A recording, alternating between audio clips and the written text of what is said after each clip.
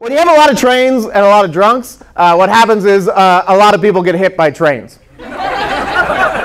Sometimes it's, you know, they're drunk and they fall in the way. Sometimes they've been drunk for a week and they're sad, they jump in front of it. Either way, point is, a lot of people die from trains. It happened to me. I was on a train that hit a person, uh, and it's just normal. Like, they don't even make a big deal of it. The train just stops and they go, ah, we have a delay. Uh, there's been an accident. And then you look outside and it's just fucking goo everywhere. You're like, God damn.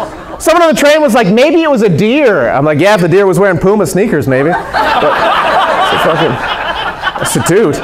but what I learned, what I found out after researching it, is that if you're a train conductor in England and three different people jump in front of your train and die, you just get to retire. You get paid out for the rest of your life.